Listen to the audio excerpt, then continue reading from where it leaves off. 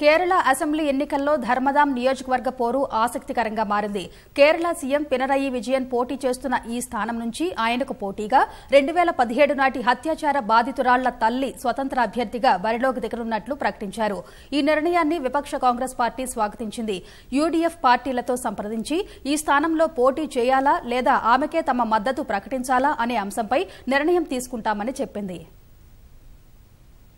కేరళలో జరగనున్న అసెంబ్లీ ఎన్నికల్లో మరోసారి గెలిచి ముఖ్యమంత్రి పీఠాన్ని కైవసం చేసుకోవాలని సీఎం పినరయి విజయన్ వ్యూహాలు రచిస్తున్నారు. రెండు వేల పదహారులో ధర్మదాం నియోజకవర్గం నుంచి విజయం సాధించిన ఆయన ఈ ఎన్నికల్లోనూ అక్కడ నుంచి సోమవారం నామినేషన్ దాఖలు చేశారు. అయితే రెండు వేల పదిహేడులో సంచలనం సృష్టించిన వలయార్ అక్కా చెల్లెల హత్యాచారం కేసులో మృతుల తల్లి ధర్మదాంలో స్వతంత్ర అభ్యర్థిగా పోటీ చేస్తున్నట్లు ప్రకటించారు. తన కుటుంబానికి అన్యాయం జరిగినప్పుడు సీఎం ఒక్క మాట కూడా మాట్లాడలేదన్న మృతురాళ్ళ తల్లి ఆయనకు వ్యతిరేకంగా గళ్ళమెత్తేందుకు ఇదే సరైన అవకాశంగా భావిస్తున్నట్లు పేర్కొన్నారు. తన కుమార్తెలకు న్యాయం చేయాలనే ఉద్దేశంతోనే ఎన్నికల్లో పోటీ చేస్తున్నానని సంఘ్ పరివార్ మినహా అందరి మద్దతు తీసుకుంటానని చెప్పారు. ధర్మదాం నియోజకవర్గానికి విపక్ష యూడీఎఫ్ కూటమి ఇంకా తమ అభ్యర్థిని ప్రకటించలేదు. ఎన్నికల్లో పోటీ చేయాలన్న ఆమె నిర్ణయం సరైందేనని కేపీసీసీ అధ్యక్షుడు ముళ్ళంపల్లి రామచంద్రన్ అన్నారు. యూడీఎఫ్తో చర్చించి ఆ నియోజకవర్గంలో పోటీ చేయాలా వద్దా అనేది నిర్ణయం తీసుకుంటామన్నారు.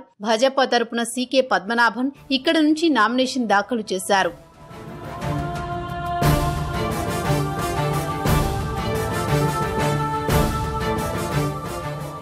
రెండు వేల పదిహేడులో వలియార్ ప్రాంతంలో అక్కా చెల్లెలైన ఇద్దరు బాలికలపై కొందరు వ్యక్తులు అతి దారుణంగా అత్యాచారం చేసి చంపేశారు. ఈ ఘటన అప్పట్లో కేరళలో సంచలనం సృష్టించింది. ఈ కేసులో ఆరోపణలు ఎదుర్కొంటున్న వారిని నిర్దోషులుగా ప్రకటిస్తూ స్థానిక కోర్టు ఆ మధ్య తీర్పు వెలువరించింది. ఈ తీర్పుపై ఆందోళనలు వెల్లువెత్తడంతో కేరళ ప్రభుత్వం హైకోర్టులో అప్పీలు చేసింది. రాష్ట్ర ప్రభుత్వం తల్లి దాఖలు చేసిన అప్పీళ్ళను అనుమతిస్తూ తిరిగి విచారణ జరపాలని ఏడాది జనవరి ఆరున కోర్టు ఆదేశించింది. తమ కుమార్తెలకు న్యాయం చేయాలంటూ గత కొంతకాలంగా ఆందోళన చేస్తున్న మృతురాళ్ళ తల్లి కాసరగోడ్ నుంచి తిరువనంతపురం వరకు నీతి యాత్ర చేపట్టారు.